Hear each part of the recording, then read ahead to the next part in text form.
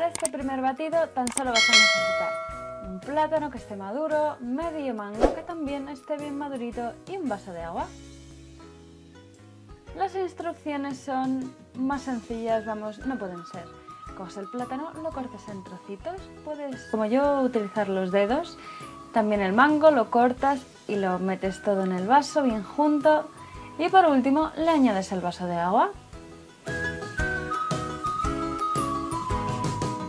Pones la tapita, le das al botón y a batir se ha dicho. Este es un batido que está buenísimo. El color es muy apetecible y entre el plátano y el mango queda dulcísimo.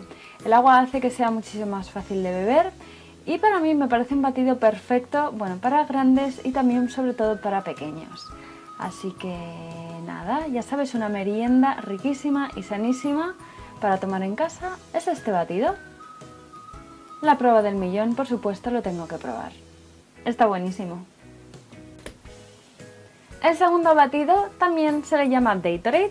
Para esto vas a necesitar dos plátanos bien maduritos, un vaso de leche de avena o de almendra o cualquier otra leche que te guste tomar a ti y cuatro dátiles sin pepitas. Al igual que en el otro batido, pues vas a cortar el plátano en trocitos, lo vas a echar en el vaso de la batidora y luego le vas a añadir el vaso de leche, el que hayas escogido.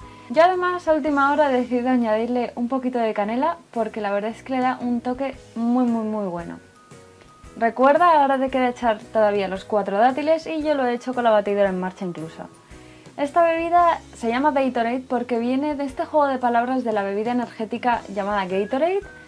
Date es dátil en inglés, así que Gatorade lo que está diciendo es que es una bebida muy energética porque tiene plátano, que tiene potasio, que es buenísimo para tus músculos. Si eres deportista, esta es una bebida perfecta para ti. Es una bebida sana, que está riquísima y además te da la energía que necesitas. A mí me parece de 10. El tercer y último batido es tan rico como sencillo. Tan solo vas a necesitar unos 425 gramos de melón y unas hojas de menta fresca. Como en los otros batidos, pues coges el melón y lo echas en el vaso. Yo a mi batido le he echado tres hojas de menta.